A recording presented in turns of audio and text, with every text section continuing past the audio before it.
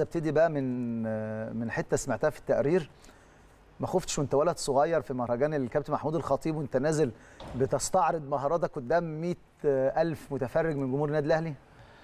لا والله يا كابتن أسامة يعني أنا كنت جريء شوية وأنا صغير في حتة المهارة دي آه. ويمكن أنا قبل ال try match في في في ملعب مختار التتش يعني يمكن ما كانش حد عارف إن أنا هنطط الكورة وبتاع ففوجئت أنا أصلا كابتن أحمد ماهر آه، يعني يوم ال try. آه رحمة الله عليه يعني.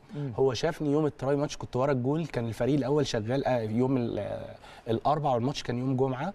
فيوم الأربع كان try match واشتغلت ball control كده بال- ورا الجول. فالجمهور تفاعل معايا جمهور الدرجة الثالثه بقى أنت عارف الجمهور اللي كان بيجي بيحضر في في المدرجات كتير.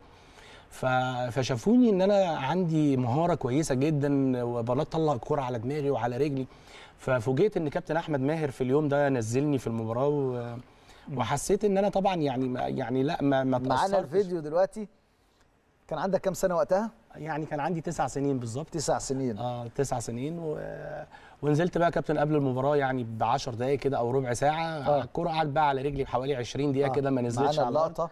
اللقطة قعدت نزلت في الدايرة في نص الملعب. في في نص الملعب آه كابتن أحمد ماهر بقى نزلني كان اللي بيدربني أيام كابتن مصطفى عبده طبعا. آه. وطبعا يعني ده شرف كبير ليا إن أنا في مباراة اعتزال كابتن محمود الخطيب نجم مصر ونجم يعني نجم فوق العادة. كان الواحد يتمنى طبعا إن هو بس يشوفه يعني.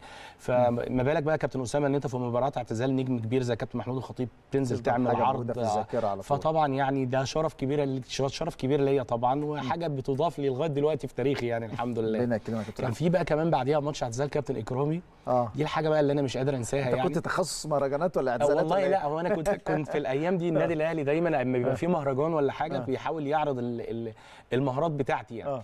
ففوجئت برضو إن أنا إيه قالوا لي أنت ليك فقرة كده ما بين الشوطين كان يوميها منتخب مصر بيلعب النادي الأهلي. آه.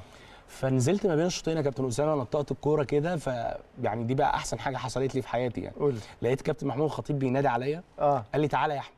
آه. فرحت له فقال لي تعالى ننطق الكورة سوا. ودي بقى كانت حاجة أنت والكابتن في الملعب. أنا والكابتن آه حتى كان في فيديو موجود ل- لحاجة زي كده. فطبعا أنا يعني ده شرف كبير ليا طبعا. يعني فما بالك زي ما بقول لحضرتك الناس بتبقى نفسها تشوف كابتن محمود الخطيب فما بالك أنا أبقى واقف قدامه بنطق الكورة وأنا وهو. ودي كانت حاجة طبعا يعني شرف كبير ليا وحاجة عمري ما أقدر أنساها طبعا في